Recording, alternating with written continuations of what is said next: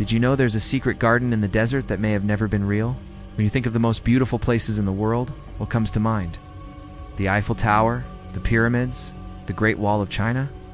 Well, add this to the list. It's called the Hanging Gardens of Babylon. It's one of the seven wonders of the ancient world, right up there with the pyramids. The problem is, no one has ever found any ruins of it. There are only two small clay tablets that mention the gardens existing, and even those are up for debate. So we don't know if it was a paradise that only existed in stories, or if it really was a lush, green oasis in the desert, a place where people could escape the harsh environment and just relax in the shade among the trees and flowers. There are a few theories about where the gardens could be. Maybe they were here all along, lost to time and covered in sand. Or maybe they were here, but they were destroyed by an earthquake or a flood. Either way, it's a mystery that's still waiting to be solved. So if you're ever in the area, keep your eyes open. You never know what you might find.